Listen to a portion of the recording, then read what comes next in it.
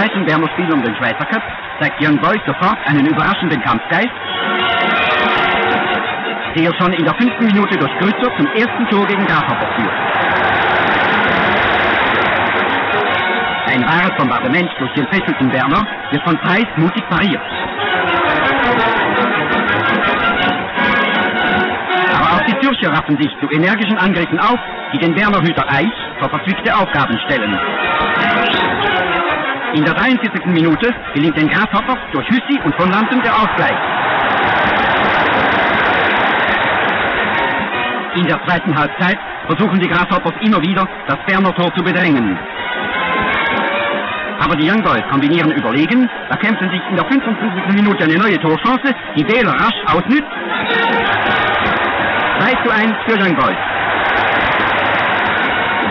Die Berner beherrschen nun das Feld vollständig, ihre Angriffe werden immer gefährlicher. In der 80. Minute wird eine Rückgabe Grützers durch Ding zum 3 zu 1 verwandelt. So endet das Spiel um den Cup, denn der Captain der Young Boys, Hans Grützer, mit berechtigter Siegesfreude präsentiert.